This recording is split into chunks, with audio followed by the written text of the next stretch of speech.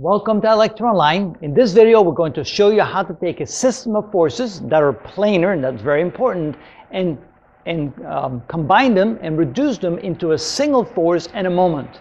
Also, when we take that single force in a moment that represents the system of forces, as you see on the board here, we can actually move that force and have it also represent the moment so we can actually reduce it into a single force placed at the right place. And that single force placed at the right place will have the exact same effect on whatever body they act upon as the whole system of forces. That's what we mean by reducing a system of forces. So notice again, these are planar. They're in the x, z plane. So notice that this would be the x direction, this would be the z direction, and nothing is up into the y direction. Of course, once we calculate the moment, the moment will, of course, be in the y direction. Notice that all these forces will cause a counterclockwise motion on this object, if you imagine this to be an object. So we then have a positive torque in the positive z direction. Now, the first thing we're going to do is we're going to simply combine all the forces. So what we want to do then is we're going to have a resultant force, and the resultant force is simply going to be the vector sum of the three forces, force 1, force 2, and force 3, which means that the resultant is simply the sum of the x, y, and z components of each of the three forces. So this would be f sub 1 in the x direction plus f sub 1, uh, f sub 2 in the x direction plus f sub 3 in the x direction. And that, of course, would be in the i direction for the resultant. We do the same with the y components. So f sub 1 in the y plus f sub 2 in the y plus f sub 3 in the y. And of course, these are the y components of the three forces times j plus f, uh, f sub 1 in the z direction plus f sub 2 in the z direction plus f sub 3 in the z direction times k. So that will then give you the resultant force. And so imagine now that this resultant force looks like this. So let me draw that. Let's say that this is now the resultant force and capital letter right here. And notice that the resultant force is also in the plane, in the xz plane.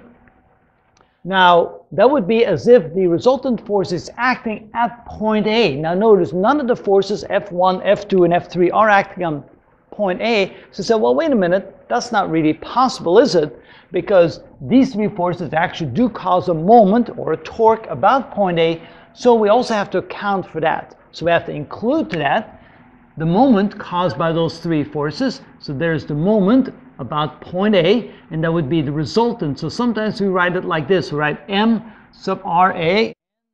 So how do we get the moment of that uh, caused by those three forces? Well, that mean that the moment, which is the resultant of the moment caused by each of the three, which is simply the position vector to the where the first force is acting, so that would be R1 multiplied via a cross product with the first force plus the position vector pointing to the where the second force is acting multiplied times the second force plus the position vector to where the third force is acting multiplied times the third force. And this will then give you the moment which is this moment right here. So imagine that all three forces can, can be combined into a single force acting at A, and of course, we also have to compensate for the torque or the moment that these three forces cause, and that can then be calculated as such.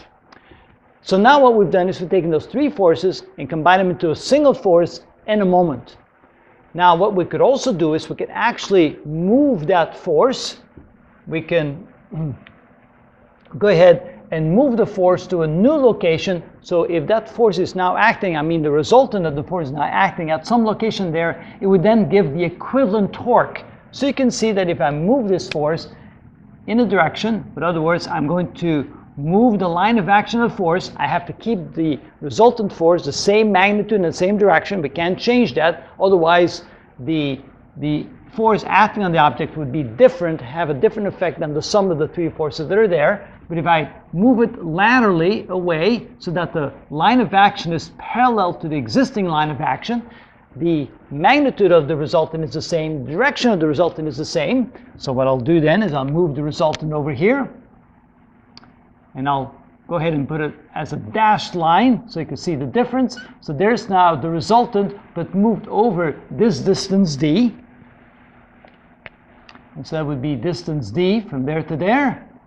Now, what I've done is, if this resultant force is acting at this location, this far away from the point A, then I'll get the exact same moment. In other words, this force now has the same, the same effect on the object as this force, as far as the force is concerned, and it has the same effect as this moment caused by these three forces.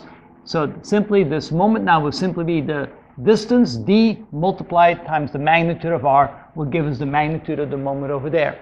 And so that's what, how we can essentially take the three forces right here, which forms a system of forces, into a single force, resultant force r, which has both the effect of the three forces in the plane sense, in the lateral sense, and it has the effect of the moment caused by the three forces all rolled up in one. So essentially, the three forces now become the single resultant force, also providing the moment of the three forces. And that's how we reduce a system of forces down to a force and a moment, and essentially down to a single force representing the effect both in the force and the moment of the three forces that are there. And that's how it's done.